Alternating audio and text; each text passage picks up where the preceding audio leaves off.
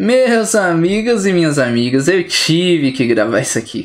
Porque, meus amigos, que jogo que eu acabei de jogar. Caí contra esse cara aqui, eu só queria jogar um x1zinho pra treinar, pra dar, dar uma jogadinha. tava jogando no off, sem vídeo, sem live, sem porcaria nenhuma. Só queria dar uma treinadinha, só queria dar uma treinadinha de leve, coisa, coisa rápida, coisa pouca. E o que que acontece? Caí nesse mapinha aqui, que eu não curto, odeio quatro lagos, não sei jogar direito nisso aqui. O moleque era 1800, e então assim, quais as chances da gente ganhar esse game, né? Não tinha muita chance, eu não sabia que o cara era 1800. Como eu disse, eu só queria dar uma jogadinha, de leve, tranquilo, de boa. Tô aqui empurrando os viaditas. Começo do game, nada demais. Botei 5 aqui na madeira pra gente fazer uma doca. E aqui que a mágica vai começar a acontecer, claro.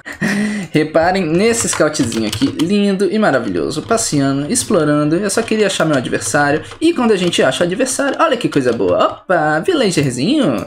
É villagerzinho que tá sem loom, tentando fazer casa. E a gente ataca o villagerzinho só pra ele não conseguir fazer a casa, fica housed. E olha lá, e a gente ataca de novo, papai. E vamos matar? Vamos morrer? Vamos correr? Vamos matar? E olha que coisa boa. Pegamos já um viewzinho e saímos fora. E aqui, pra para finalizar esse game lindo, maravilhoso, vamos ver o que acontece. Passa o scout aqui rapidinho. Blum.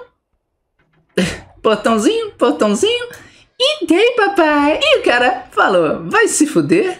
Fuck you. E resignou. Que game maravilhoso, meus caras. Espero que vocês tenham gostado aí. E tamo junto, guys. Eu só queria mostrar essa partida linda. Que isso, ficou brava, mano.